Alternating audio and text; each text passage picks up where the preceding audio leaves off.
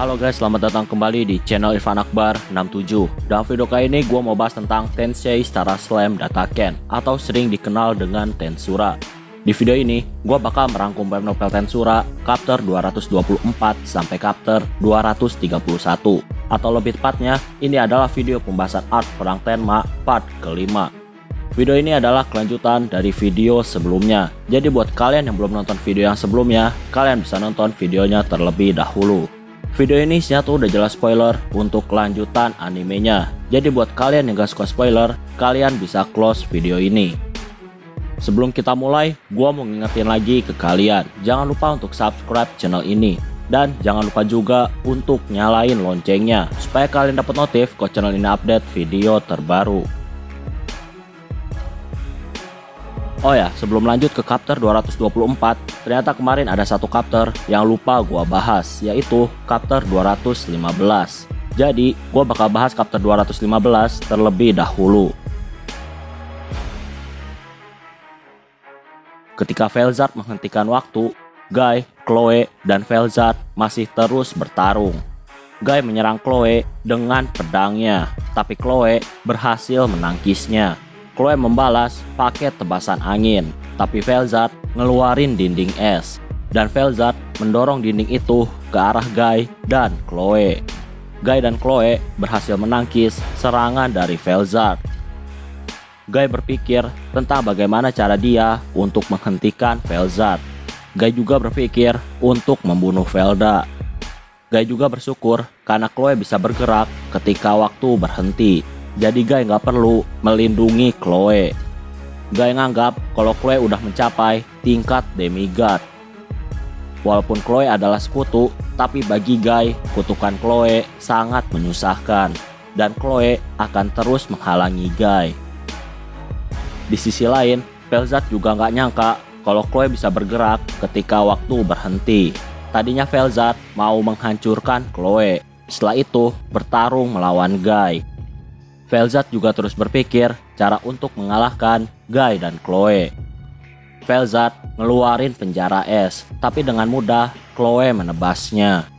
Velzat sadar bahwa kekuatan Chloe setara dengan dia dan Guy. Velzat terlihat sangat kesal. Di sisi lain, Chloe juga berpikir cara untuk mengalahkan Velzat dan Guy. Sebenarnya, Chloe mau mundur, tapi tubuhnya menolak karena kutukan. Chloe heran karena harusnya Velzat bekerja sama dengan Chloe. Tapi Velzat lebih milih untuk menyerang Chloe dan Guy. Gak lama, tiba-tiba datang meteor yang dahsyat. Meteor itu menghancurkan kastil Guy. Ternyata itu adalah ulah dari Velgrin. Velgrin menyapa kakaknya, yaitu Velzart. Velzart bilang kalau dia sangat yakin bahwa Velda adalah reinkarnasi dari kakaknya, yaitu Velda Nava. Velzat juga merendahkan kematian Kaisar. Velgrin marah karena Velzat merendahkan kematian Kaisar. Velgrin mau melawan Velzat. Velzat dan Velgrin bertarung sangat sengit, sampai akhirnya waktu kembali bergerak. Di sisi lain, Rimuru ada di ruang tersembunyi. Di ruangan itu, Velda nggak bisa mendeteksi Rimuru. Gak lama, waktu dihentikan. Seal ngasih tahu kemungkinan yang ngeluarin skill untuk menghentikan waktu orang itu adalah Velzar. Rimuru berpikir kalau skill penghentian waktu gak bakal berlangsung lama. Alasannya karena Chloe dan Guy pasti bisa bergerak. Kalau lawannya masih bisa bergerak, skill penghentian waktu gak ada gunanya untuk dipertahankan. Rimuru terus mendapatkan banyak laporan. Rimuru tahu kalau Velgrin sedang bertarung melawan Velzat dalam mode naganya. Rimuru juga dapat kabar kalau Sion babak belur oleh Dagrul. Rimuru mau bantu Sion, tapi dihentikan oleh Seal. Seal bilang kalau Sion bakal baik-baik aja. Rimuru nyuruh Diablo untuk membantu Sion kalau situasinya makin memburuk.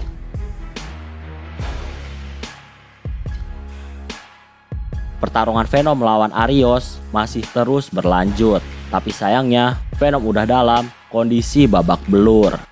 Tapi tiba-tiba Kenya dan Ryota membantu Venom.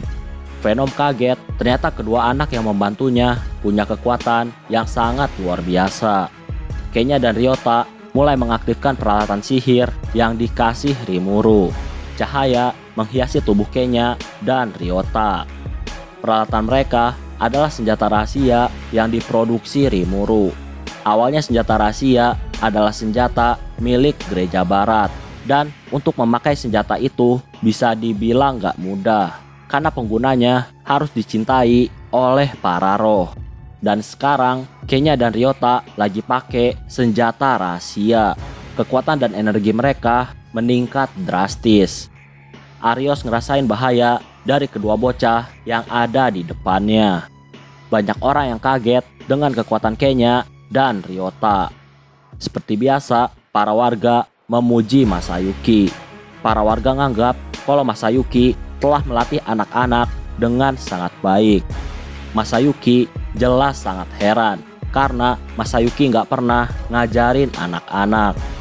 Para warga terus memuji Masayuki, sedangkan Masayuki cuma berharap kalau Venom dan anak-anak bisa memenangkan pertarungan.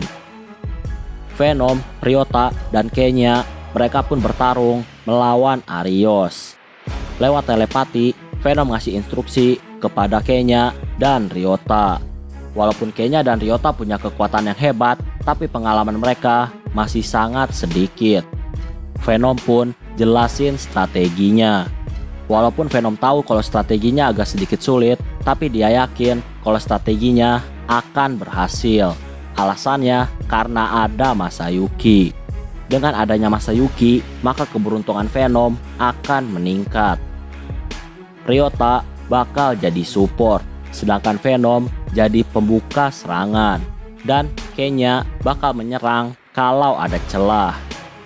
Arios terus menghindari serangan Venom dan anak-anak. Arios kesal karena mereka berhasil melukai Arios.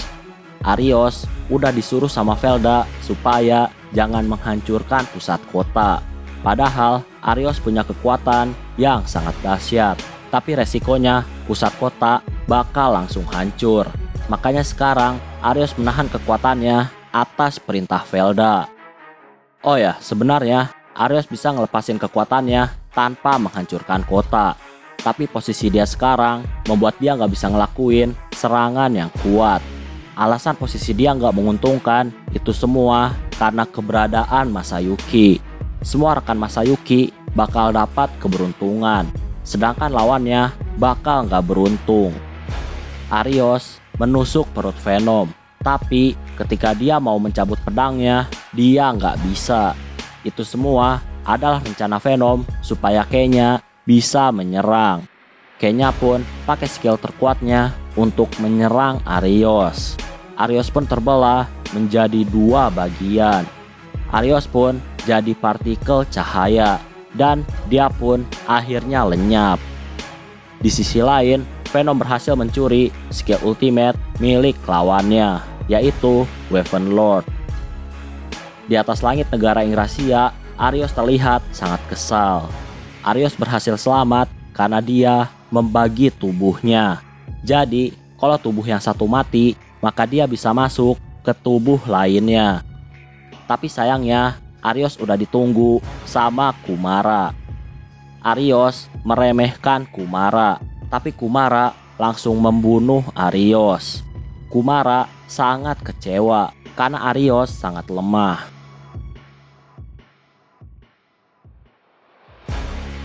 Velda mengamati peperangan dari tempat rahasianya. Hasilnya pun sangat mengecewakan.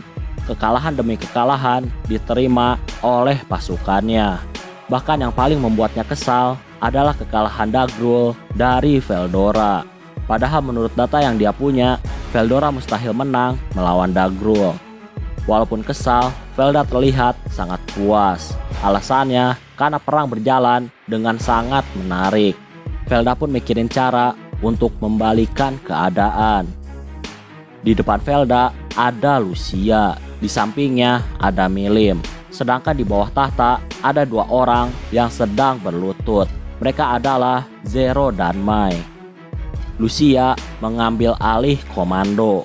Saat ini, setelah kematian Rimuru, orang kuat yang punya potensi setara dengan Velda adalah Guy dan Chloe. Lucia mau ngasih kekuatan baru untuk Zero. Tujuannya demi membunuh Guy dan Chloe. Guy dan Chloe udah bertarung sangat lama. Jadi kalau menyerang sekarang, kemungkinan menang akan sangat tinggi. Tapi tiba-tiba Velda menghentikan rencana Lucia. Velda berpikir kalau Rimuru masih hidup. Dia berpikir seperti itu karena bawahan Rimuru dan Veldora terlihat sangat santai. Di sisi lain, Velda juga masih sangat heran. Lucia adalah skill yang punya kecerdasan yang tinggi, tapi berkali-kali rencananya digagalkan. Velda ngerasa ada yang janggal. Velda pun ngasih Zero skill ultimate, yaitu Evil Dragon Lord Azi Dahaka. Tapi kali ini skill ultimate-nya adalah versi sempurna. Velda nyuruh Zero untuk menghancurkan Tempest dan Dungeon Ramirez. Mai dan Zero pun pergi ke Tempest. Alasan Velda menyerang Tempest, dia mau mancing Rimuru untuk keluar. Velda pun akhirnya tertawa dan dia menyatakan skakmat untuk Rimuru. Di sisi lain, Rimuru dapat laporan tentang kemenangan Veldora. Rimuru kagum sama kekuatan Veldora. Diablo juga mengagumi kekuatan Veldora. Diablo sendiri meyakini kalau dia pasti bakal kesulitan dalam melawan Dagrul. Walaupun Diablo bisa menang, tapi Diablo pasti sekarat karena lawannya adalah Dagrul. Veldora tertawa ketika dipuji. Rimuru kagum karena strategi dari Seal membawa dia ke dalam kemenangan. Seal udah memprediksi jalannya perang dengan sangat baik. Rimuru nanya tentang prediksi langkah Velda selanjutnya. Seal memprediksi kalau Velda udah mulai curiga bahwa Rimuru masih hidup dan kemungkinan Velda bakal menyerang Tempest. Seal pun jelasin kalau Velda kemungkinan bakal ngirim pasukan terkuatnya pergi ke Tempest, termasuk orang yang bisa membuat kemampuan Dungeon Ramirez jadi nggak bekerja. Rimuru dan Seal mutusin untuk menyerang Velda. Mereka udah tahu di mana Velda berada. Veldora dengan usahanya berhasil menemukan gerbang surga milik Velda. Dan gerbang itu akan membawa Rimuru kepada Velda. Jadi ketika Velda menyerang Tempest, Rimuru bakal menyerang Velda skakmat untuk Velda. Rimuru nyuruh Testarossa, Ultima, dan Carrera untuk menghancurkan gerbang surga. Sedangkan Veldora bakal pergi ke tempat kedua kakaknya. Veldora punya tugas untuk menghentikan pertempuran saudara.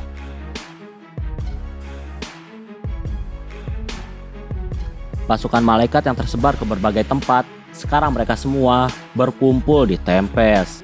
Total 600.000 malaikat bakal menyerang Tempest. Pasukan malaikat pun mulai menyerang Tempest. Pasukan malaikat dipimpin oleh Zero. Jadi Zero ini adalah manusia buatan yang dibuat oleh Yuki.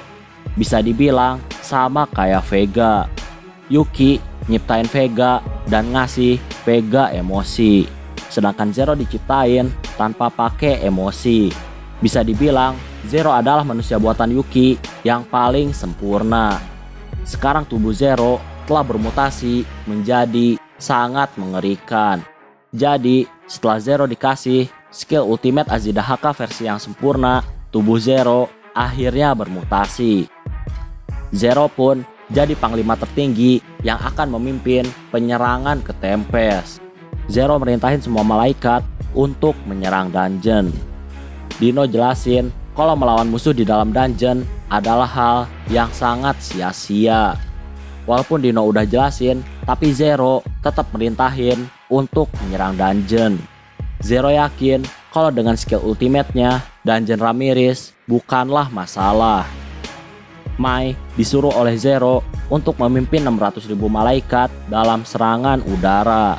Jadi, Mai dan para malaikat bakal menyerang dungeon dari udara. Dengan skill ultimate milik Mai, semua tembakan malaikat jadi lebih kuat dan jadi lebih akurat. Dungeon pun dihujani oleh banyak panah.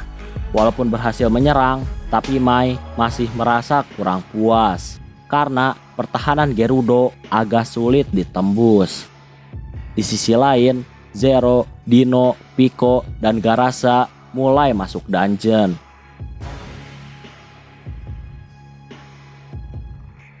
Di ruang kontrol, Ramirez dan yang lainnya sedang mengamati para penyusup.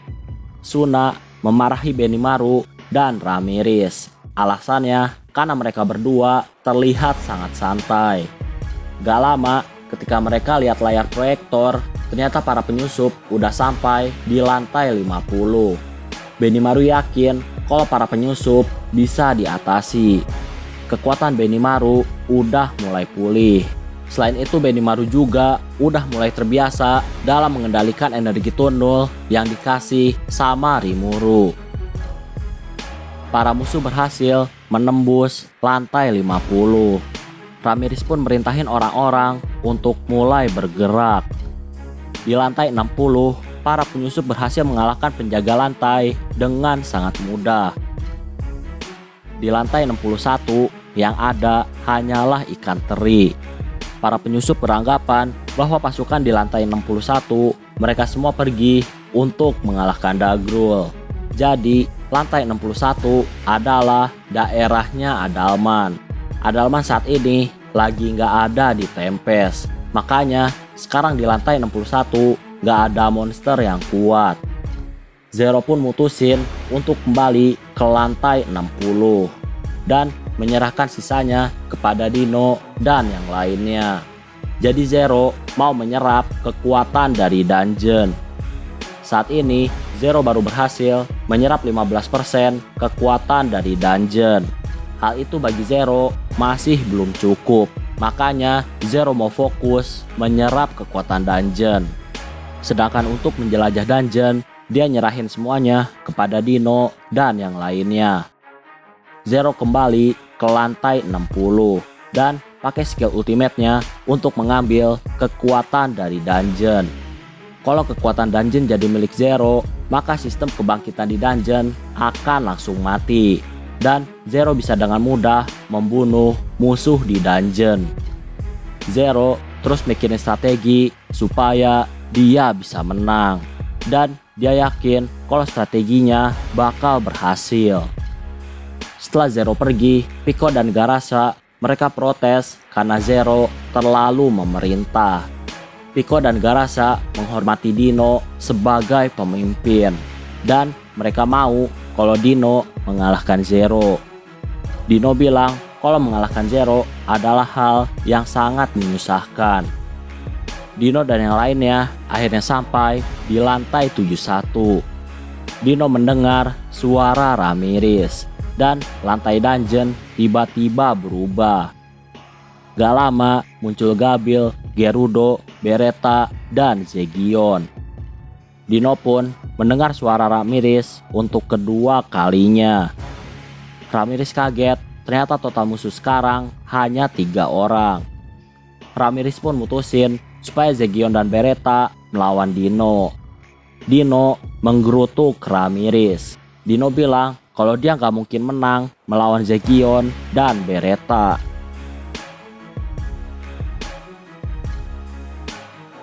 Dino masih bernegosiasi dengan Ramirez.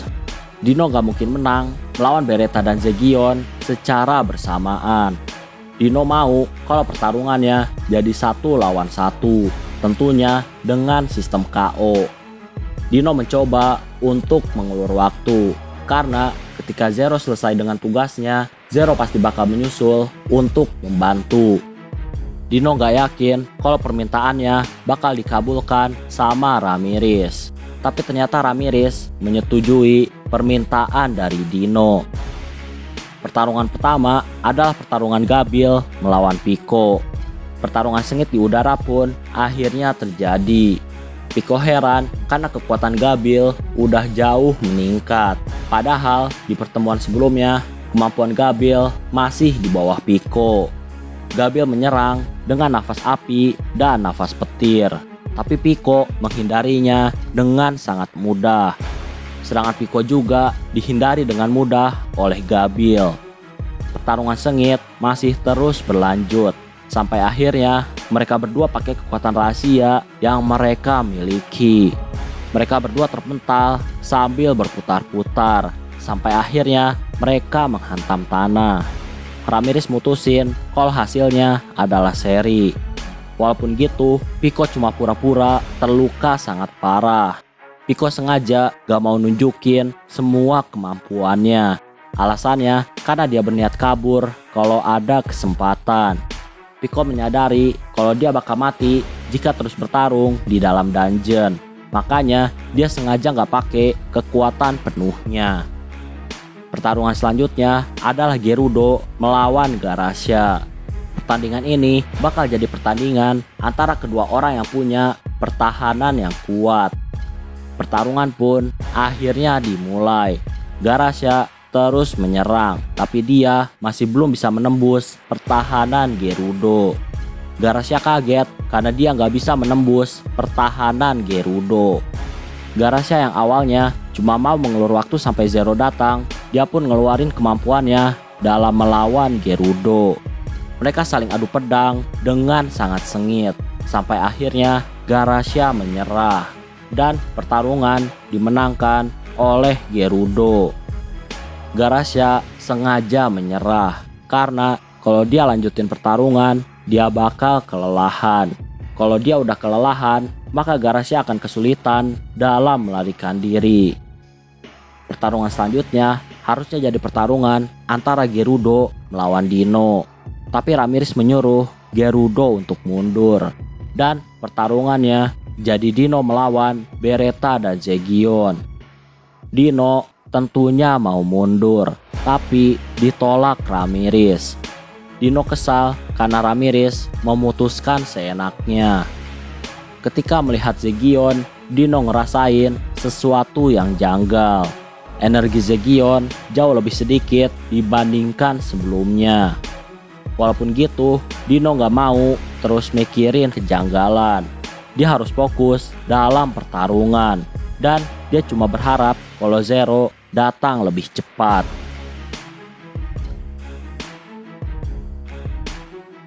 Di ruang kontrol, Benimaru ngasih tahu ke semua orang bahwa Zero telah berhasil merebut kekuatan dari dungeon. Jadi, kalau ada bawahannya mati, maka mereka gak bisa hidup lagi. Di sisi lain, Zero masih terus mengambil kekuatan dari dungeon. Lebih dari 90% kekuatan dungeon telah direbut oleh Zero. Zero menganggap kalau rencana Velda berjalan dengan lancar. Sekarang, Zero hanya tinggal memusnahkan orang-orang yang ada di Tempest. Tapi nggak lama tiba-tiba Zero mendengar suara seorang. Orang itu ngingetin Zero supaya nggak sombong. Zero tentunya sangat kaget karena dia nggak ngerasain awak keberadaan orang itu. Zero nganggap kalau orang itu hanyalah anak ayam yang sangat lemah. Zero membuat banyak Evil Dragon Beast. Banyak Evil Dragon yang menyerang orang misterius tapi mereka semua dimusnahkan hanya dengan satu kilatan cahaya. Zero mengakui kekuatan orang misterius. Ternyata orang itu adalah Zegion. Sebenarnya, Zegion bisa menggagalkan Zero untuk menyerap kekuatan dari dungeon. Tapi karena Zegion diperintah Rimuru untuk diam, maka Zegion pun hanya terdiam. Ketika Zero hampir selesai menyerapnya, barulah Zegion muncul. Zero kecewa karena dia nggak pernah dengar nama Zegion. Itu artinya Zegion hanyalah orang lemah. Zero mencoba untuk memprovokasi, tapi Zegion udah nggak bisa menahan diri lagi. Selama ini, Zegion cuma ngelihat Zero mengambil kekuatan dungeon. Zegion gak bisa maafin orang yang telah merusak dungeon. Zegion ngeluarin aura miliknya tapi Zero langsung menahannya pakai perisai. Zegion pakai kecepatan yang sangat luar biasa dan dia langsung nendang Zero. Zero pakai skill ultimate-nya untuk membuat pertahanan. semua serangan Zegion ditahan dengan sangat mudah. Zero pun ngeluarin serangan yang kuat, tapi sayangnya Zegion masih berdiri tanpa terluka. Zero kaget karena baru kali ini serangan kuatnya bisa ditahan. Zegion bilang kalau dia udah ngaktifin skill dunia ilusi. Jadi ketika serangan mengarah kepadanya, Zegion bisa tahu kelemahan serangan itu dan Zegion pun memusnahkan serangan kuat milik Zero. Walaupun serangannya gagal, Zero masih pede kalau Zegion gak bisa menembus pertahanan miliknya. Tapi ternyata Zegion berhasil menembus pertahanan milik Zero. Zegion yang udah mengaktifkan dunia ilusi, mudah bagi Zegion mengalahkan lawannya. Zero pun dipojokin dengan sangat mudah. Karena Zero nggak bisa menang, Zero pun lari dengan skillnya. Zero pun mencoba lagi untuk mengambil alih kekuatan dari dungeon. Walaupun kekuatannya terus meningkat, tapi Zero masih belum puas. Zero mau mencari orang kuat untuk dia serap. Zegion tersenyum karena rencananya berhasil. Zegion udah disuruh sama Ramirez untuk membiarkan Zero lari ketika Zero udah terpojok.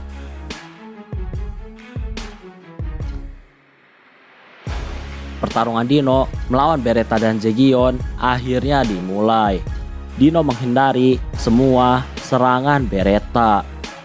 Dino heran sama perkembangan bawahan Rimuru. Bawahan Rimuru berkembang terlalu cepat. Saat ini Dino hanya ingin menyerah. Beretta mengubah tanah di bawah Dino menjadi rawa. Dino pun perlahan mulai tenggelam ke dalam rawa. Zegion mulai memukul Dino. Dino sebenarnya gak ngerasain sakit fisik, tapi dia ngerasain sakit spiritual. Dino sadar kalau orang yang memukulnya bukanlah Zegion. Ternyata Apito menyamar menjadi Zegion. Dino kesal karena dia melawan dua orang. Dino mencoba negosiasi, tapi Apito gak peduli dan Apito pun menusuk Dino. Dino menangis kesakitan. Ramirez bilang kalau Dino ada di pihak Rimuru, maka Dino akan selamat. Dino bilang kalau dia nggak mungkin mengkhianati Velda Nava. Ramirez bilang kalau Velda dan Velda Nava adalah dua orang yang sangat berbeda. Dino nggak ngerti dengan omongan Ramirez. Ramirez nyuruh Beretta dan Apito untuk menyiksa Dino. Dino makin kesakitan. Ramirez hanya tertawa. Ramirez ngobrol dengan Benny Maru. Semua pergerakan lawan udah diprediksi dengan tepat oleh Rimuru. Dan kemungkinan besar Velda dan Velda Nava adalah dua orang yang sangat berbeda. Rimuru juga memprediksi kalau Zero kalah dari Zegion maka Zero bakal terus mengambil kekuatan dari dungeon. Tujuannya untuk mencari kekuatan supaya bisa ngalahin Zegion.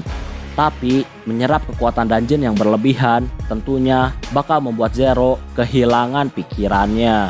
Apalagi ketika Zero tahu kalau kekuatannya masih belum cukup, Zero pasti bakal menyerap apa pun untuk dijadikan kekuatan. Entah mengambil kekuatan musuh atau mengambil kekuatan kawan. Intinya semuanya udah diprediksi sama Rimuru. Gak lama ternyata Zero udah berhasil merebut 99% kekuatan dari dungeon. Benimaru dan Ramirez merintahin semua orang di dungeon untuk bersiap jalanin rencana. Jadi mereka semua mau lihat respon Zero apakah Zero masih sadar atau enggak. Kalau Zero milih untuk menyerap Dino, maka kesadaran Zero telah menghilang. Kalau Zero milih kerjasama dengan Dino, maka kesadaran Zero masih tetap ada. Dino dimanfaatin untuk mengetahui keadaan dari Zero.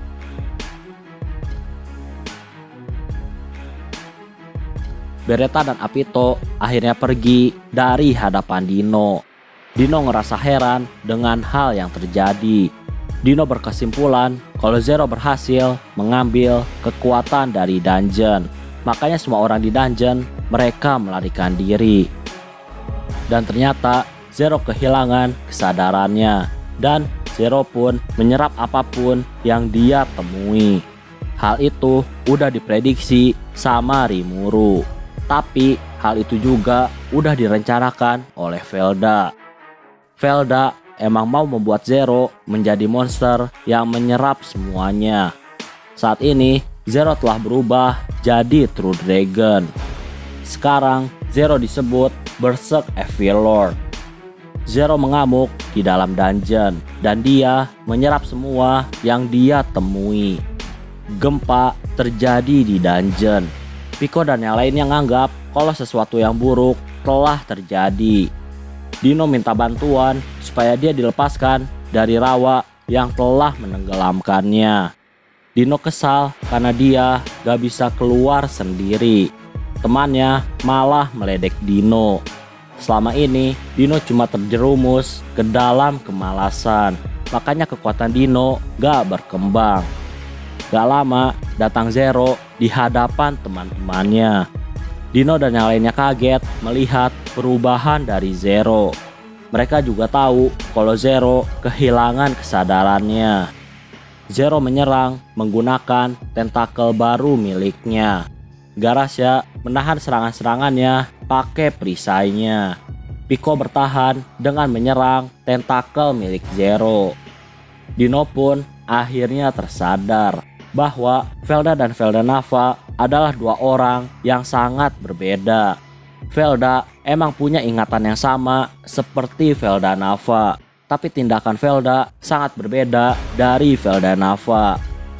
Dino pun mutusin untuk melawan Velda. Teman-teman Dino gak peduli dengan keputusan Dino karena yang mereka ikuti hanya Dino. Sebenarnya mereka berdua gak peduli dengan peperangan, tapi karena Dino ikut perang, maka mereka pun ikut peperangan. Dino pun jadi sangat serius. Dino yang tadinya hanya bermalas-malasan, dia telah menjadi orang yang berbeda. Dino pun pakai pakaian tempurnya. Dari sayap Dino keluar cahaya. Tubuh Dino juga dilapisi sama armor. Dan Dino juga memegang dua pedang, yaitu pedang Excalibur dan pedang Caliburn. Pedang itu adalah pedang suci dan pedang iblis. Sekarang Dino benar-benar akan bertarung dengan serius. Gak lama datang Zegion Jagion tahu kalau Dino serius, maka Dino punya kekuatan yang sangat luar biasa. Kemungkinan kekuatannya setara dengan Zegion. Tanda kutukan yang Zegion kasih ke Dino telah dihancurkan dengan sangat mudah. Makanya Zegion tahu kalau Dino sangat kuat. Melihat tindakan Dino, Ramirez memaafkan semua kesalahan Dino dan menyuruh Dino untuk menghancurkan True Dragon yang jahat. Mendengar kata True Dragon, Dino semakin yakin kalau Velda bukanlah Velda Nava. Dino ngasih Zegion sebuah pedang yang besar. Karena Zegion akan bertarung serius, Zegion pun nyuruh Pico untuk menjaga naga peliharaan Milim.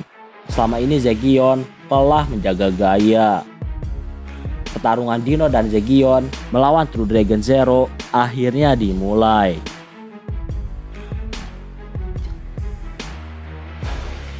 Oke, kayaknya cukup untuk video pembahasan kali ini. Terima kasih karena udah nonton video ini sampai habis. Jangan lupa untuk subscribe, like, dan yang paling penting adalah jangan lupa untuk share video ini ke teman-teman kalian. Sampai bertemu kembali di video-video selanjutnya. Terima kasih.